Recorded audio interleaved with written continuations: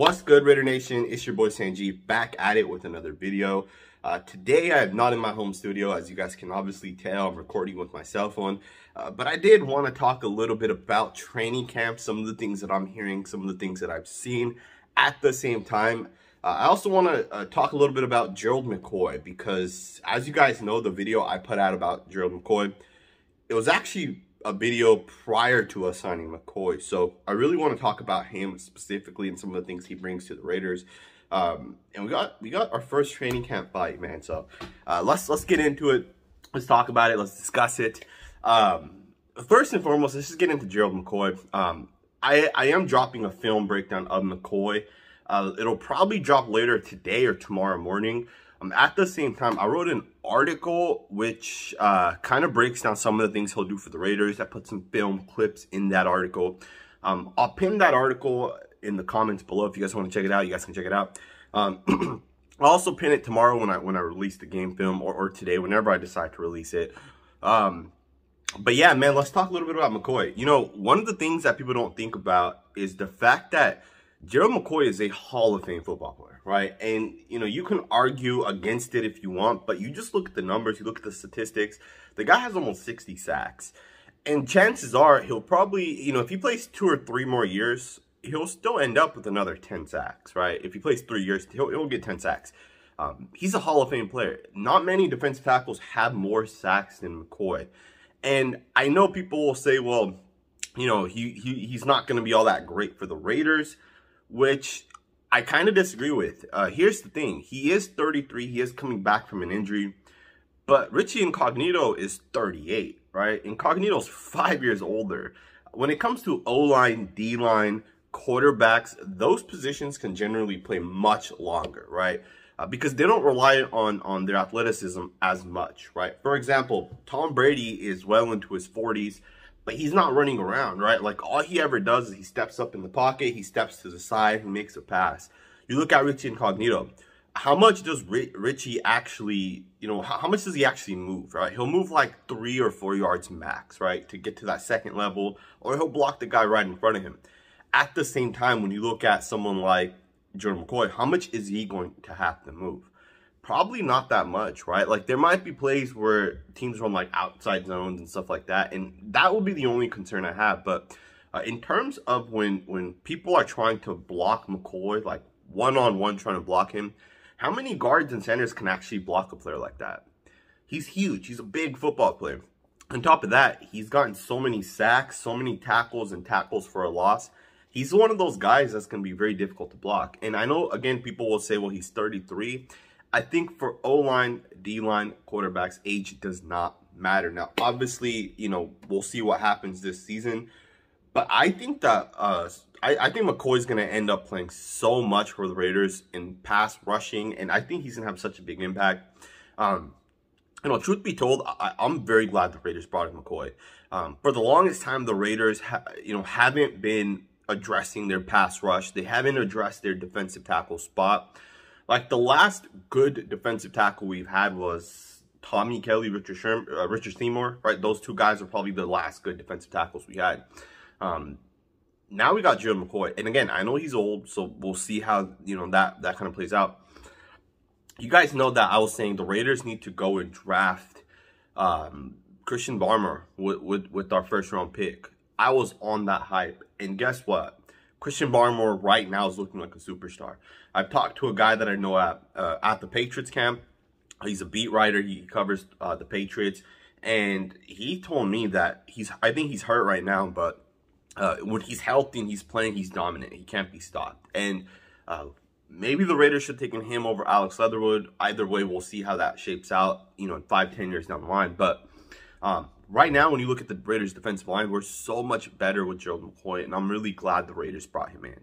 Um, at the same time, I want to shift focus a little bit. Uh, but, but before we do, um, tomorrow I will be dropping the film breakdown, or maybe later today. So make sure you guys tune in for that. Um, but let's jump forward. Let's talk a little bit about camp. Now, there was a fight Um, the guy that I spoke to said that he could not see, and I think that was kind of the, the thing with all the people. Uh, it was during team drills, so they're kind of far away from, from the people. Uh, I'm sorry, it was 11 on 11, so they're kind of far away from uh, where, where, everyone was kind of standing. Um, but Jaryd Jones-Smith apparently ripped someone's helmet off. Uh, it was an O lineman versus a D lineman. So I'm wondering which D lineman it is. Uh, Jaryd Jones uh, Smith is the backup left tackle. So um, I'm going to assume it had to have been like one of the defensive ends, right? Like maybe a defensive tackle, one of the three tech guys. Um, so maybe it was like Clelin Ferrell, maybe it was like, you know, Gerri Green or, or one of these other guys playing defensive end. It could have been like Solomon Thomas, but Solomon Thomas doesn't seem like a fighter. So I don't really know. We'll probably get a little bit more, uh, a little bit later on on that specifically. Um, but we need that. We need guys that are fighting because that shows passion, right? Now, we don't need someone hurting another player, right? Obviously not. But uh, fights, you know, that's good. It's, it's good for uh, the team. It's good to get people going.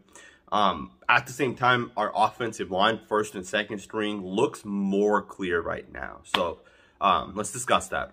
Obviously, left tackle to left to right tackle is 100% confirmed. Left tackle is Colton Miller. Left guard is Richie Incognito. Center is Andre James. Right guard is Denzelle Good for now. And right tackle is Alex Leatherwood. Let's talk about Denzelle Good. I say for now because right now, um, John Simpson's also taking first team reps. So, uh, for, for example, with the defensive line, um, you got the four guys starting, right? You got uh, obviously Max and Yannick. You got Quinton and Jonathan Hankins. Those four guys are in there. But when it comes to the first guy that rotates in, like literally the first guy that comes in for the defensive line is Clelin Ferrell. So Ferrell comes in right away, takes those reps. Um, and then for the offensive line, it's the same thing. John Simpson comes in right away and he works in with the first ringers, which tells me the Raiders are really high on Simpson. And here's the thing. I've been watching Simpson with all the practice footage that's out there, um, all the things we can kind of see and he looks good, man, which is great. I'm really glad to hear that because when the season started last year, he did not look that good. Obviously, in the in the last couple games he played, he looked a little bit better. Uh, but right now, it looks like he's the guy that's coming in um, to kind of take a little bit of first team reps with Denzelle Good. So that'll be a competition to kind of keep an eye on. Uh, another one that's kind of interesting is the backups that are coming in, uh, left tackle to right tackle. So left tackle, the the backup Colt Miller is Jaryd Jones-Smith. The backup left guard is Lester Cotton. And who would have thought that Lester Cotton, the guard that the Raiders brought in that famous 2019 draft, uh, he could be the guy for the Raiders. And, uh, you know, Parker Ehinger looks terrible. Um, from what I've heard and from what I've observed, Parker Ehinger does not look good. So I don't see him beating out Lester Cotton. Remember, the Raiders need four offensive guards on this roster. We have Richie, Denzelle, and Simpson as locks. They're the top three guys. And then the fourth guy is up for grabs. You know, Parker Ehinger was a guy, uh, Lester Cotton, and there's a couple other guys. But I think Lester Cotton's going to end up winning that job, man. Right now, he's coming in as the second string left guard.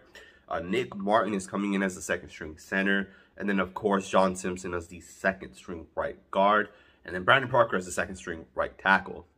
Obviously, uh, Sam Young retired. So uh, that allowed Brandon Parker to go from the backup left tackle to the backup right tackle, and then Jerry Jones Smith jumped in as the backup left tackle, and that's how they're practicing right now. So uh, it'll be interesting, kind of see you know camps right around the corner. I should say preseason games right around the cor corner, scrimmage uh, with the Rams right around the corner. Right, I think it's next week. So um, it'll be interesting, man. I'm really pumped up to kind of see how all that plays out. I'm really excited for preseason week one, man. There's so much news. There's so many great things out there. Um, and I'm pumped up, man. Let me know what you guys think in the comments below. Hit that thumbs up button, smash that subscribe button, and I will see you guys next time with another video.